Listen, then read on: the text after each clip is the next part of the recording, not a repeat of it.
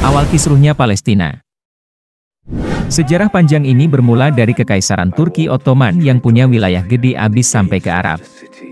Di balik itu, bangsa Arab ternyata nek sama Ottoman dan pengen misahin diri. Karena rasa nek ditambah pusing dikit ini membuat bangsa Arab menawarkan bantuan ke Inggris buat gebukin Ottoman saat Perang Dunia I terjadi. Dengan syarat, bangsa Arab dikasih kemerdekaan setelah perang usai. Setuju dengan hal itu, Ottoman lalu digebukin rame-rame sampai pada akhirnya miskuin dan bubar. Wilayah Arab pun akhirnya dibagi-bagi, namun sebagian Palestina tetap dipegang Inggris dan gak diserahin ke penduduk aslinya.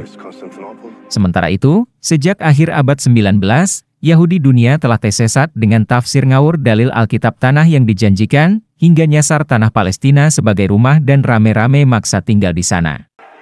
Pada awalnya pribumi Palestina menyambut kedatangan mereka dan hidup rukun, namun seiring waktu, Yahud tersesat malah tambah banyak, songong, dan mulai berani ngajak ribut pribumi.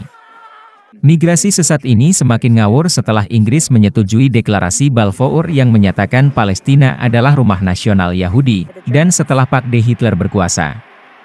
Sebenarnya pribumi Palestina pun beberapa kali demo dan mencoba nyetop migrasi sesat ke tanahnya, tapi karena Inggris ngeyel, Akhirnya pusing sendiri karena populasi Yahudi cepat banget naik kayak tikus.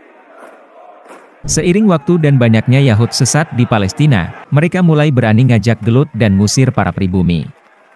Namun karena Yahud dapat bekingan Lord Rothschild, pimpinan komunitas Yahudi dunia yang super kaya, kebeloonan Inggris yang bikin orang Yahud nyepam pun tak bisa disembuhkan. Kebodohan memuncak setelah Zionis yang dibuat oleh para Yahudi pendatang dibolehin mendirikan Israel, Padahal Inggris sebelumnya dah janji kalau tanah bakal dikembaliin ke bangsa Arab. Konflik pun semakin brutal, pribumi Palestina langsung diusir paksa setelah Israel berdiri. Seakan kabur setelah bikin kisruh, Inggris tiba-tiba minggat dan nyerahin tanah Palestina beserta kekacauannya ke PBB. Bangsa Arab yang ngamuk akhirnya coba ngeroyok para pendatang kurang ajar ini dengan berbagai baku hantam hingga sekarang.